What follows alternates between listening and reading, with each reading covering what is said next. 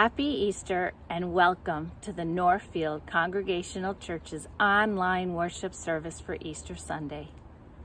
As you join us for this service today, we hope and pray that you will experience God's love in a new and refreshing way through the resurrection of our Lord and Savior Jesus Christ.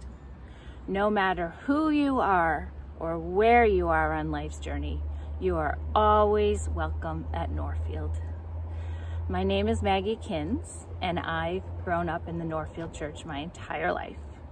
My parents were Pat and Dave Brown. A funny story they were on a trip in the mid 90s and ended up in Jerusalem, where they took a real palm branch from Jerusalem and Federal Expressed it to Norfield Church. So for Palm Sunday and Easter that year, there was a real true branch from Jerusalem where the members could imagine may have come from the same tree that Jesus walked by. Also, as I grew up as a young girl in the church, I would spend my Easter Sundays with some lifelong Norfield friends, Carolyn Cotter, Eric Bechtel, Liz Pike, Kip Sanford, Rob Thompson, and our dear Larry Ohms. So may God bless you and your family on this Easter morning and always. Happy Easter. Our Easter scripture reading comes from the Gospel of John, chapter 20, verses 1 through 11. Hear the word of God. Early on the first day of the week, while it was still dark, Mary Magdalene came to the tomb and saw that the stone had been removed from the tomb. So Mary ran and went to Simon Peter and the other disciple, the one whom Jesus loved. And Mary said to them, They have taken the Lord out of the tomb, and we do not know where they have laid him.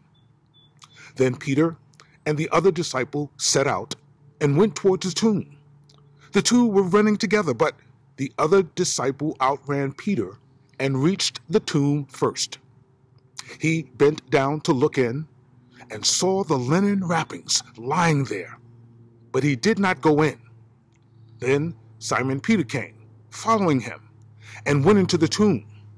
He saw the linen wrappings lying there, and the cloth that had been on Jesus' head not lying with the linen wrappings, but rolled up in a place by itself. Then the other disciple who reached the tomb first also went in and he saw and believed. For as yet they did not understand the scripture that he must rise from the dead. Then the disciples returned to their homes. Here ends the reading. Good morning, my sisters and brothers. Christ is risen. Christ is risen indeed. Death has been swallowed in victory. The grave has lost its sting. Christ is risen. Christ is risen indeed.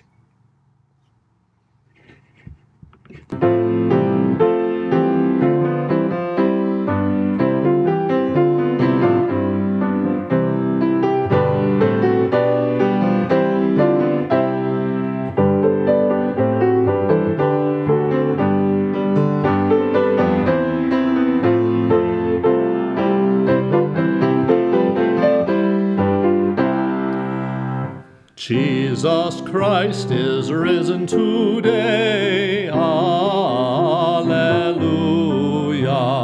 Our triumphant holy day. Alleluia. Who did once upon the cross. Alleluia. Suffer to redeem our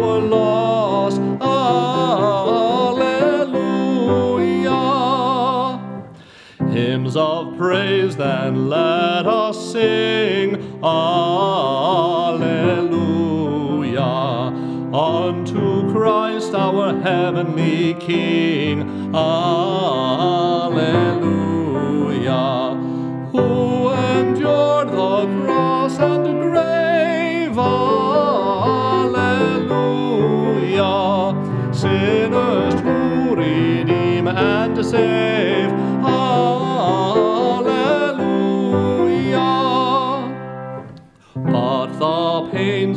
He endured. Alleluia. Our salvation have procured.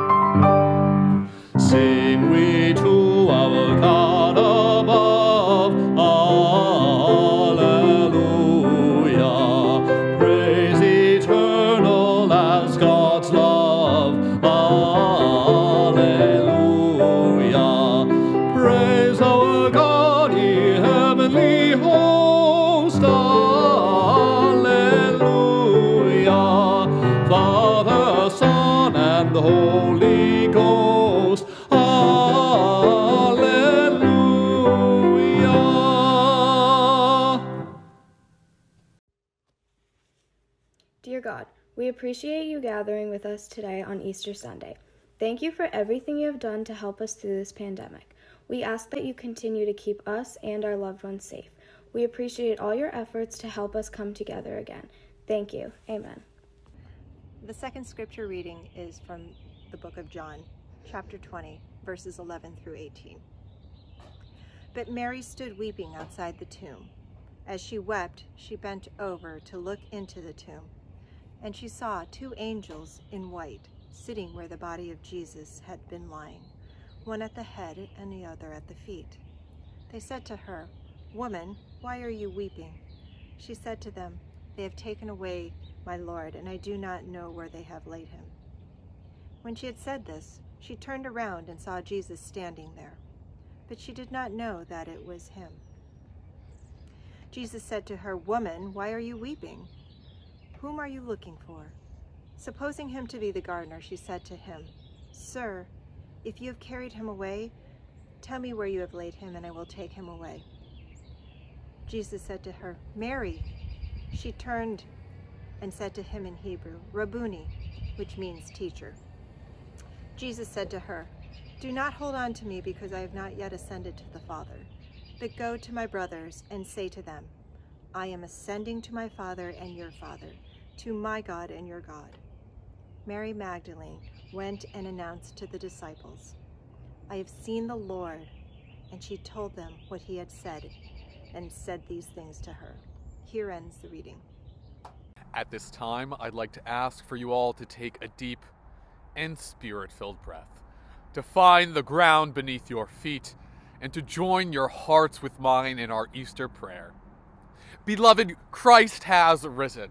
This is the day the Lord has made. Let us rejoice and be glad. I said, This is the day the Lord has made. So let us rejoice and be glad in it. Beloved, today is Easter, the most joyful day in history.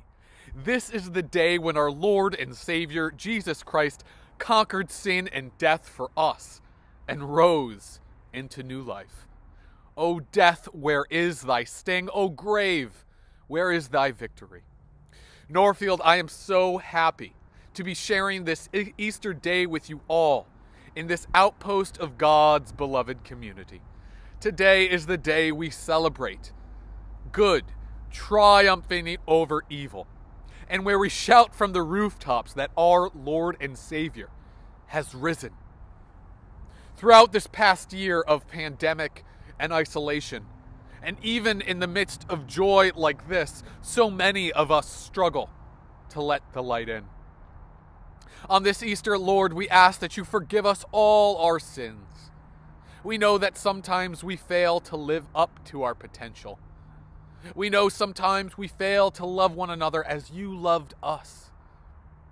But on this Easter, we know that through your death and resurrection, all our sins are forgiven.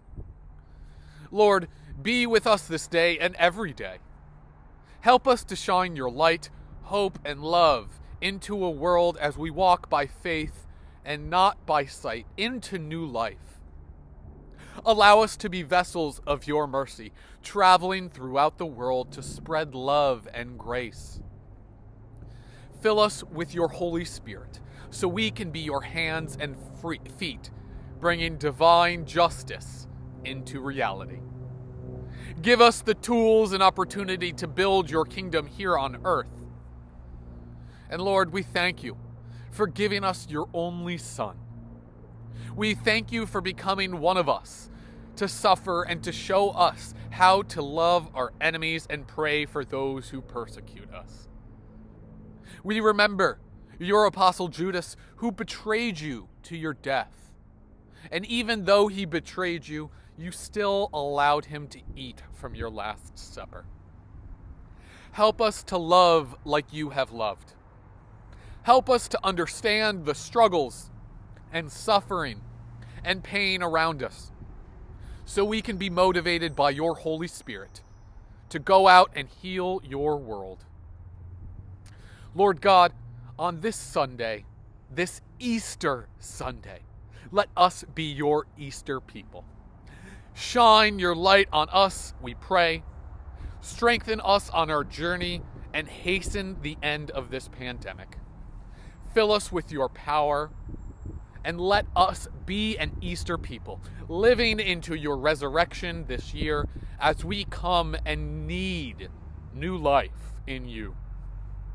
Help us to have an imagination for new creation and new life in you. And all these things we ask in your holy name, lifting them up to you, using the words your Son taught us, saying, Our Father, who art in heaven, hallowed be thy name. Thy kingdom come, thy will be done, on earth as it is in heaven. Give us this day our daily bread, and forgive us our trespasses as we forgive those who trespass against us and lead us not into temptation, but deliver us from evil. For thine is the kingdom, and the power, and the glory forever. Amen. Beloved, our third scripture reading this morning comes from the Gospel of Luke, chapter 24, verses 1 through 11. But on the first day of the week, at early dawn, they came to the tomb taking the spices that they had prepared. They found the stone rolled away from the tomb. But when they went in, they did not find the body. While they were perplexed about this, suddenly, two men in dazzling clothes stood beside them. The women were terrified and bowed their faces to the ground, but the men said to them, Why do you look for the living among the dead. He is not here, he has risen. Remember how he told you while he was still in Galilee that the Son of Man must be handed over to sinners and be crucified on the third day and rise again. Then they remembered his words, and returning from the tomb, they told all this to the eleven and to the rest. Now it was Mary Magdalene, Joanna, Mary, the mother of James, and the other women who were with them when this was told to the apostles. But these words seemed to them an idle tale, and they did not believe them. Here ends the reading.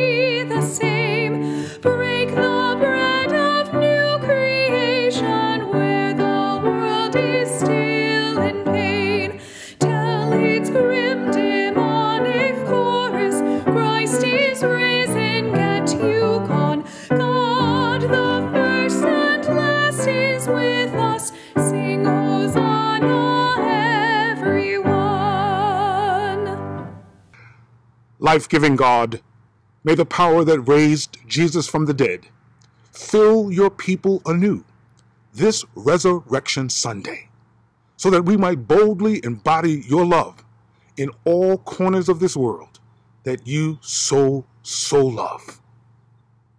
Amen. We begin the Easter tale with Mary Magdalene. For Mary, it had been one long, never ending, sleepless night. So Mary got up and paced the floor. And then she tried sleep again, but to no avail.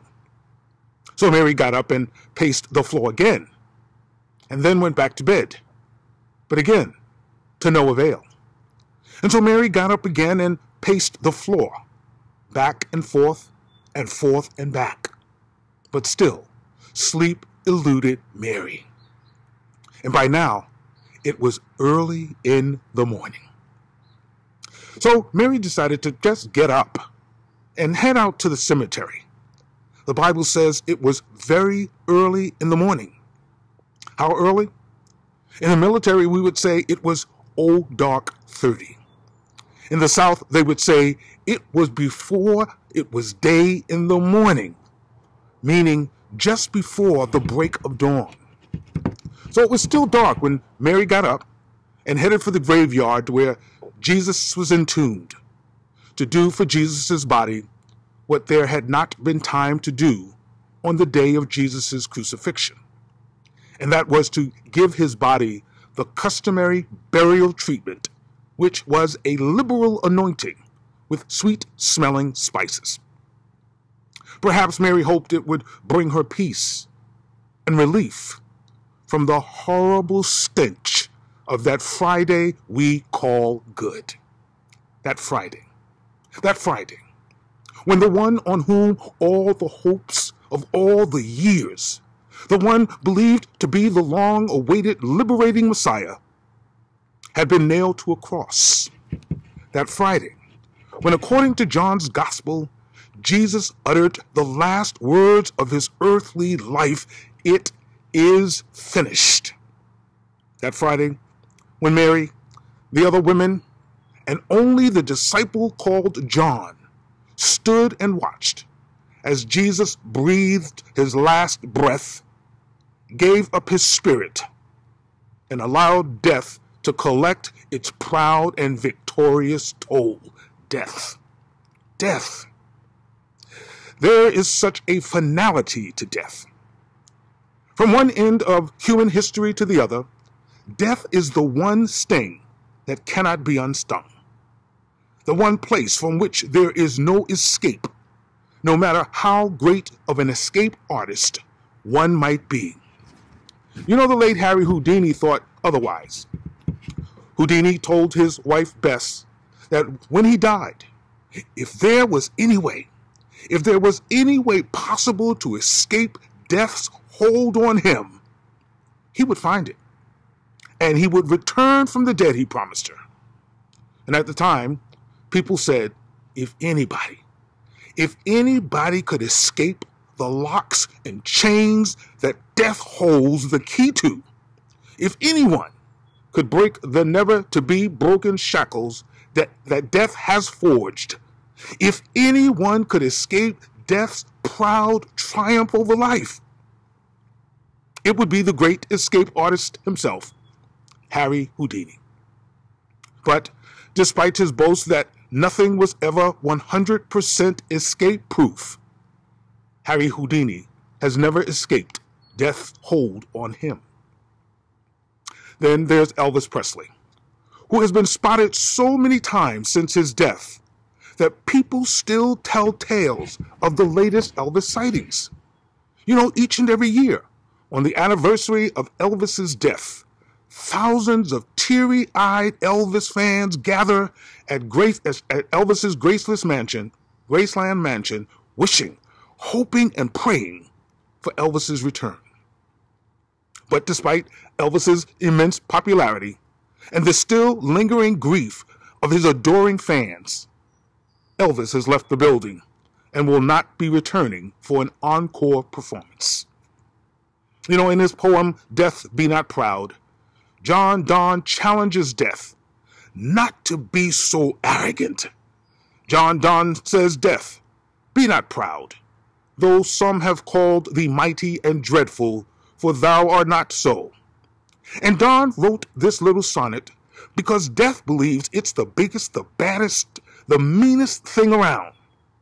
And everyone treats death as if death is the king of kings.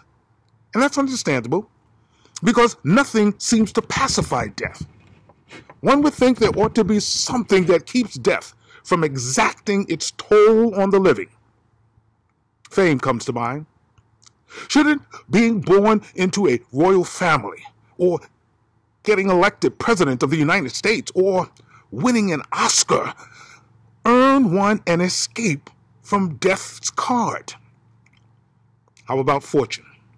Shouldn't having all the gold in Fort Knox, or all the jewels in the crown, or all the oil in the kingdom, or having more money than Warren Buffett or Mark Zuckerman or even Oprah could ever spend, give one the right or the privilege of buying a one way escape ticket from death. But no, death comes to one and all. Death comes to one and all in every time and in every place. And death allows no exceptions to the rule. Anybody, everybody who is born has an unbreakable date with death. Every living thing that breathes, every living being lives with the reality that death is going to collect its final, never to live again toll. Well, maybe. Because now we have to get back to Mary and the other women and the tale we are told that early that first Easter morning, while it was still dark, Mary got up and headed to the place where Jesus had been entombed. And when Mary arrived, the reason for Mary's sleepless night became known. There was something not quite right at the tomb of Jesus. The huge, once we seal and set it, it can never be moved again stone that was supposed to seal Jesus in the grave for all eternity. That huge stone had been rolled away, and Jesus' body was gone.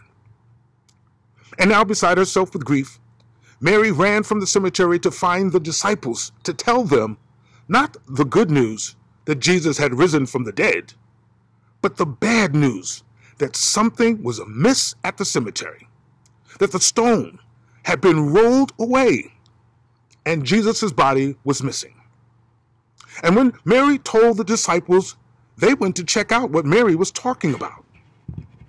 And not knowing what to make of it, they checked it out and left. And left Mary there alone, alone with her grief, alone not knowing what to make of this thing that had happened. And then, as Mary was standing there weeping, Mary noticed someone. Perhaps it was the gardener. Maybe the gardener could tell her who had taken Jesus' body away. Perhaps the gardener could tell her what they had done with Jesus' body. And then she could go to his body and give Jesus' body a proper burial. And then, perhaps, she could go home and finally get some sleep. But the one she believed was the gardener turned to her, and he called her by name Mary. And in the sound of her name, Mary's eyes were opened, and she knew then who it was standing before her. And in that moment of recognition, Mary's world was transformed, and her misery turned to merriment, her grief to glory, and her night of weeping to a morning of joy. Jesus was alive, and Jesus was standing there right before her, and that was enough. And with that, Mary ran to the place where the disciples were and announced, I have seen the Lord. I have seen the Lord. And the disciples wondered, what was wrong with Mary? Is Mary delusional from the trauma of Good Friday? Is Mary suffering from post traumatic stress disorder? Or is Mary imagining things because of a lack of sleep? Now, imagine you had been there that first Easter morning with those disciples when Mary comes running and saying of all the silliest of things, guess what? The stone has been rolled away. The tomb is empty, and I have seen the Lord. And when the other women also told the disciples, they too had seen men in dazzling clothing at the sight of the tomb of Jesus, who wondered why these women were looking for the living in a place meant for the dead, and that the two men told them Jesus had indeed risen just as he told them he would. When these women told the disciples what they had seen and what they had heard, the disciples didn't believe a word these women were saying. They thought these women were doing nothing but, as the Bible says, telling an idle tale. tale. Telling an idle tale. Well, what would you have thought? How would you have reacted if you were a man and those women came to you with such a tale about rolling stones, empty tombs, and Jesus alive, resurrected from the dead. You too might have said, Women, so easily excitable, always making mountains out of molehills, way too emotional, as uh, how one public official put it recently about women. And of course, from the vantage point of this side of history, women would be justified in saying that's just like men know it alls who too all too often know next to nothing. But let's not be too hard on these disciples. After all, just three days ago, Jesus had been certified crucified and then put in a tomb and sealed behind a solid, unmovable stone. As far as these men knew, Jesus was indeed dead, buried, and done with. So it was hard for them to hear the words of those women that Jesus is alive and I have seen the Lord. Because every known experience of life speaks against a resurrection from the dead. Every known experience we've ever had tells us there is nothing after death, that death is life's ultimate finish. And of course, the disciples were still living in a Good Friday world. And every fiber of their collective being was still living in a reality where Jesus was dead and buried, never to be seen again. And so, what they heard from Mary and the other women couldn't be anything more than an idle tale. An idle tale. And so the disciples did not believe a word they were saying. Not unlike so many of us this morning, for us too, the idea of a resurrection from the dead sounds like an idle tale told to fools. But Easter is no idle tale.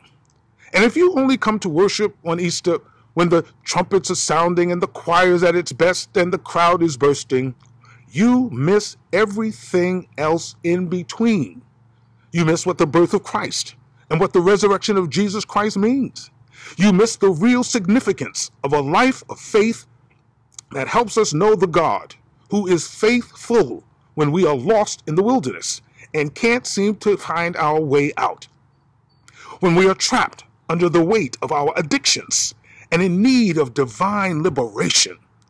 When all seems lost in our lives and we are filled with despair and uncertain about tomorrow and we require the hope that only God can offer. Then, yes, then we need to be more than CEOs. We need to be more than Christmas and Easter only people. Because Easter is more than bunnies and baskets stuffed with goodies. Easter is more than the great Easter egg hunt and happily ever after lives. Easter is about the resurrection of Jesus Christ from the dead. I know. I know there are some who would rather we skip right over the resurrection. Because a resurrection sounds too fantastic. A resurrection sounds too incredible. A resurrection sounds too otherworldly, and we want to live in reality. But we won't. We cannot let the resurrection go because that's what Easter and that's what our faith is all about. Easter is about the one who was crucified, died, and then rose from the dead. And without the resurrection, according to the Apostle Paul, our faith is meaningless. Without Easter, our faith is without merit. Without Easter, we have nothing more than an idle tale. And if what we believe is nothing more than an idle tale, tale, well, then we do need to do nothing more than see the beautiful lilies, sniff their fragrance, sing an alleluia or two, visit the Easter bunny at the mall, and then go home with our lives undisturbed. But we who are gathered, whether online or in person, gather on Easter because we believe Easter is no idle tale. And the truth is that one by one, each of the disciples had the same amazing encounter with the risen Savior. And they had this, these encounters for themselves. And you know what they did? They took this so called idle tale and they told it. So that we are still living and telling this tale over 2,000 years later. And my sisters and brothers, we need to hold on to this idle tale because there are those who say that Easter is nothing more than an attempt to create a happily ever after ending for what is really nothing more than life is tough and then we die. And they would be correct. That's all Easter is an idle tale.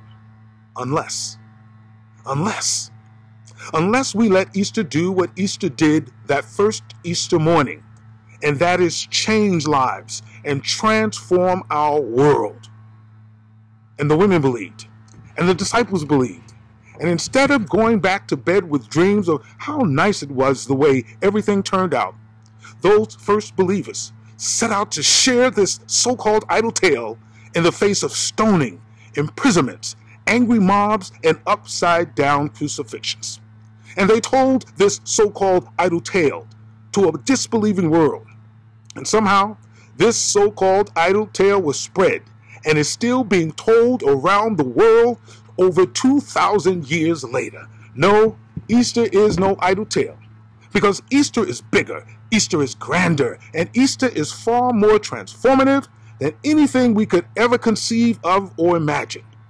And because Easter is a tale of God's love loosed in our world, Easter is a tale of God's presence going before us and saying to us, saying to death, of all things, death, be not proud. Easter is a tale of love. Easter is a tale of joy. Easter is a tale of hope. And, and, and this so called tale, this so called idle tale, is still worth telling. And so I come this morning with no idle tale, but with this good news of great joy that with those first believers on that first Easter morning, and with believing Christians all over this planet, we proclaim our hope. We that we proclaim our hope did not die on a cross. We proclaim that our faith was not buried in the ground. We proclaim Jesus Christ is not sealed behind a stone of death. But today, we proclaim this tale and this glorious affirmation Christ is risen. Christ is risen indeed. Alleluia. Alleluia. Amen. From the cloak of darkness came rays of illumination. What was to be the most despaired, in the end, became a glorious beginning. From death rose everlasting love and life. The story of the resurrection reminds us of these gifts that, Lord, you impart to us every day. Let us show our gratitude through our support of your church. Let us recognize those in need and support each other as stewards of your word. Let us now offer our Easter gifts.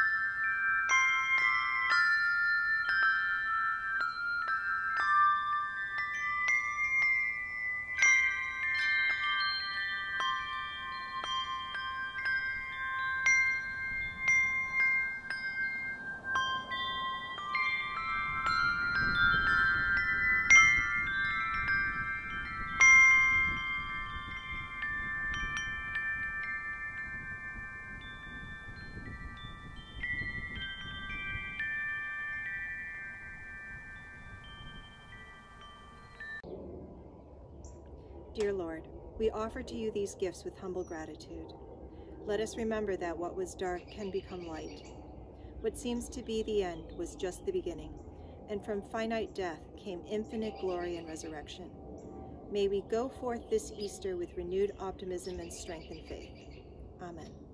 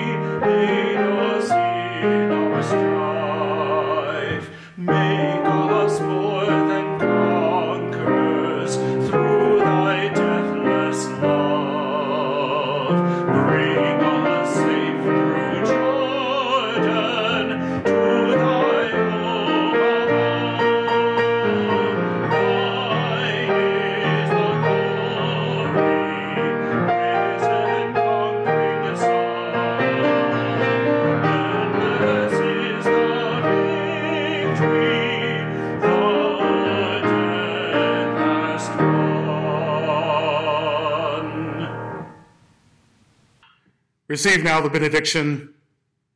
Christ the Lord is risen today. Angels rolled the stone away. It seems that death has lost its prey. Christ the Lord is risen today. A blessed Easter to each and every one of you.